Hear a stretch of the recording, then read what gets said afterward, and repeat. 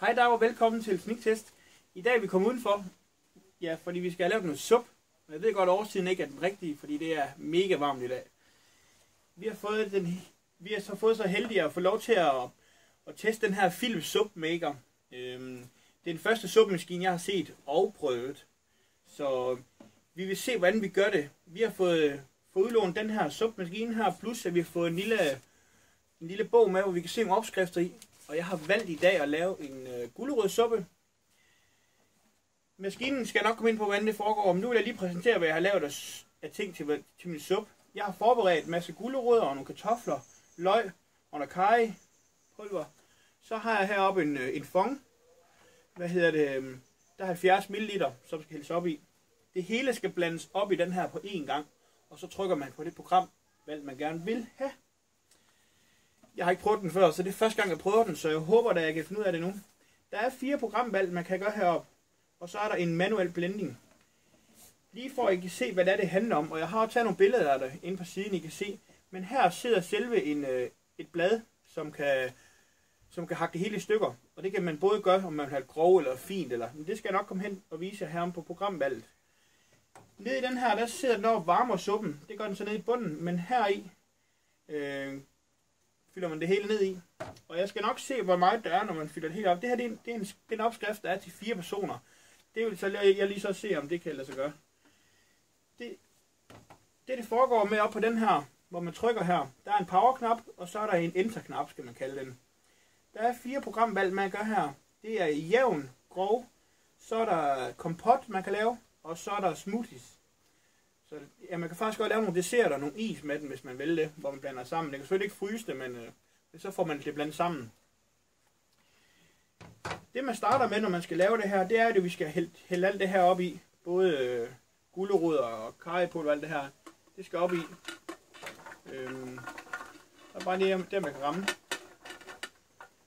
Men det skal op i her. Det skulle faktisk være rimelig let at lave det, øh, kan jeg kan jeg se ud fra manualen og ud fra brugsanvisningen, der er ikke så mange ting, man skal forholde sig til. Der står godt nok 23 minutter, står der herude. Så jeg ved ikke, om programvalget selv stopper efter 23 minutter, eller, eller det gør det nok ikke, fordi den kan ikke se, hvad for, en, hvad for noget jeg laver. Så jeg skal holde øje med, at det er 23 minutter, eller, eller hvor varmt jeg nu vil have det. Jeg hælder så det andet i min fong her. Og nu vil jeg faktisk hælde, hælde alt, jeg ved ikke, om I kan se det, men nu er det alt sammen hældt hernede i så er der sådan en lille klik ind her, hvor du sætter strømmen ned i, og den passer lige direkte ned i det stik, der sidder her, så man kan ikke gøre noget forkert. Man sætter den ned i, og man har selvfølgelig sat uh, sit 220 strøm, uh, sit strømkabel 220 volt i stikkontakten og tændt for den, og så vil den begynde at lyse heroppe. Så vælger du, hvad du skal have. Det her, det skal være en, en jævn. Det er den, der står i, i, i brugsanvisningen som at være cremen, vil jeg, vil jeg skyde på. Hvis den ikke er nok blændet, når du er færdig, så har du mulighed for at gå hen på det sidste programvalg, som er manuel blanding, eller blending hedder det. Jeg vil trykke start. Og så tror jeg, der vil gå 23 minutter. Jeg vil selvfølgelig tage, tage nogle billeder og nok komme ind på, jeg vil klippe hen til, hvor jeg nu kommer til, hvor det er færdigt. Øhm, jeg ved ikke, om den først begynder at varme op. Jeg kan mærke hernede, at det begynder, og jeg ved ikke, om vi kan høre det. Det er begyndt at starte nu med at, med at koge lige så stille. Og så blender den selv og gør den smoothies, eller gør den lækker, lækker cremen. Så øhm, det glæder vi os til at se. Ja, og velkommen tilbage. Ja, nu er der gået næsten 10 minutter, og I kan se, jeg ved ikke, om man kan se det på film, men øh, der er gang i den, og det dufter af sup. Det, øh, det, det tyder godt det her, og det er utrolig let at lave. Altså sup til vinter, det bliver en fornøjelse at lave, for det er jo mega let. Altså jeg håber, at der er nok til, til fire voksne mennesker i sådan en, som ikke skal til at lave flere gange. Men øh, nu skal jeg nok se, hvor meget der er. Jeg hælder det op i nogle suppe, suppe til og så kan I se, hvor meget der er til hver mand. Øh, ja, det jeg tror jeg, det, det er det, jeg gør. Men den damper utrolig meget, og der sidder damp herude fra, men det er jo fordi, den koger det hele nu. Øh, så jeg ved, og, og den er faktisk ikke blendet noget endnu, så jeg ved ikke, om den kører lige stille ned, eller, eller hvad den gør, eller det kommer senere. Den først koger, den jeg tror først, den koger alle grøntsagerne, til de bliver bløde, og så blender den det til sidst. Det er sådan, det foregår, tror jeg. Men et utroligt fedt produkt. Så jeg vender tilbage, når jeg engang er færdig. Hej hej. Hej så, velkommen tilbage igen. Ja, nu har den lige blendet lidt. Det hørte I ikke, fordi at, øh, jeg fik startet kameraet hurtigt nok. Men den har lige blendet en gang, og nu har den faktisk kørt i 15 minutter. Når den er færdig, så vil den bip. Så det er lige en reminder til, at, at nu er det altså færdig. Der står faktisk her, at der er suppe på 20 minutter.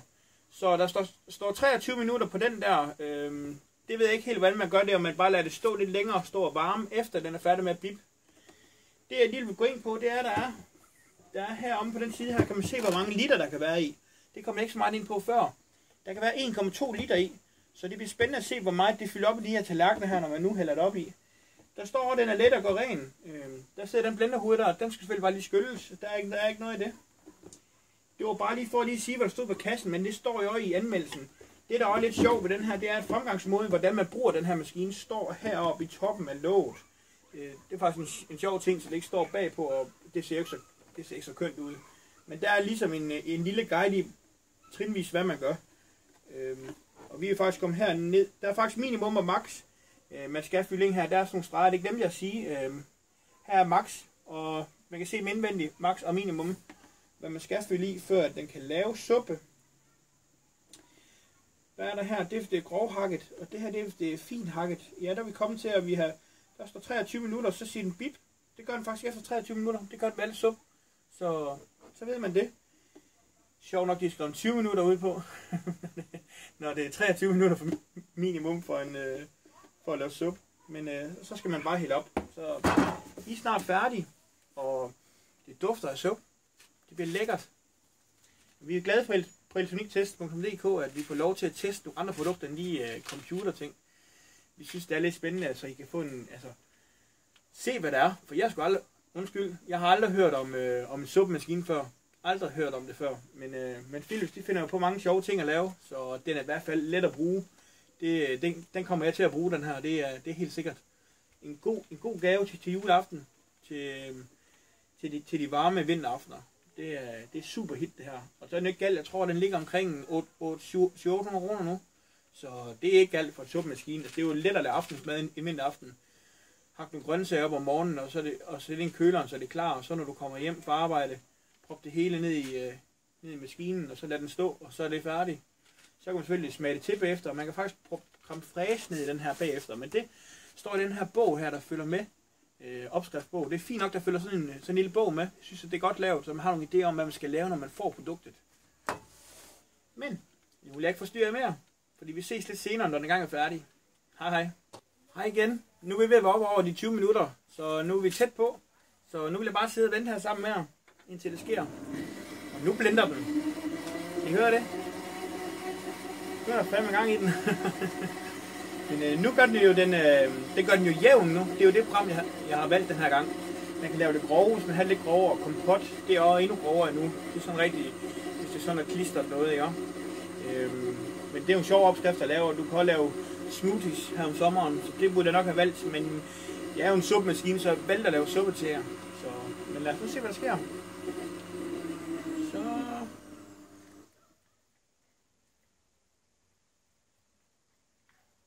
hvad den så gøre? Den blender igen.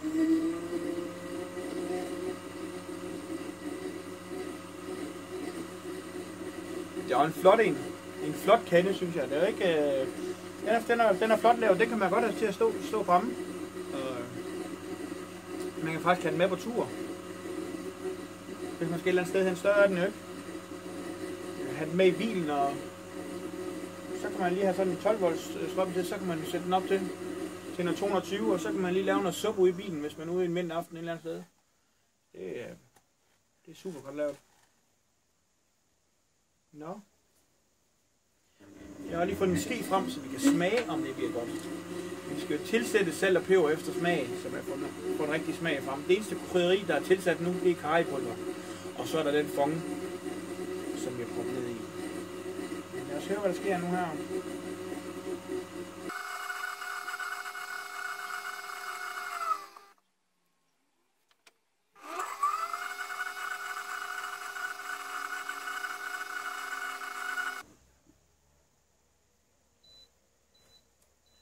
Så er vi ved at være tilbage, og som I kan høre, så bipper maskinen nu. Det kunne I lige nå at høre. Det vil sige, at nu er produktet faktisk færdigt. Nu har det stået der i 23 minutter. Så nu bliver det spændende at se, hvordan suppen den er, når den kommer op. Øhm, jeg ved godt, det kommer til at grise lidt med den her, når jeg nu tager den op, og så griser på mit bord. Men vi ryster den lige lidt. Øhm, så vi lige får det helt af. Men det dufter rigtig godt. Og som I kan se, så kan man pille strømmen af.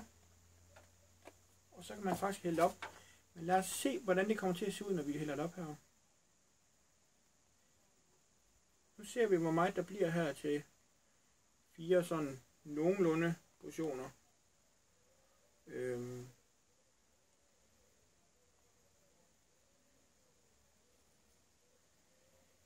Der kan være fire tallerkener i, vil jeg sige. Øhm. Sådan tom. Fire sådan middel tallerkener. Jeg vil jo sige, at her var jo til to, til to mennesker. Jeg kan godt spise to tallerkener i hvert fald, så, så fire, så bliver det i hvert fald ikke mæt. Øhm. Jeg vil prøve at smage på det. Konsistensen, eller konsistensen, den er sådan, øh, den er cremet, og det er det, den skulle være. Øh,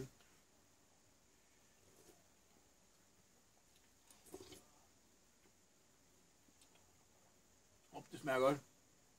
Det var det helt vildt.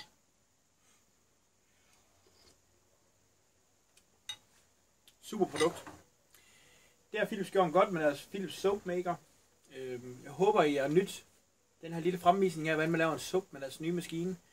Jeg håber, I går ind på deres hjemmeside og bestiller en, fordi det, det, det er i hvert fald den, det er det værd. Og jeg tror, jeg vil give den 10, fordi der er ikke noget at brokse over her. Det er let at bruge, og der er, ja, der er ingenting faktisk. Husk at subscribe hernede i bunden, eller på YouTube-kanalen.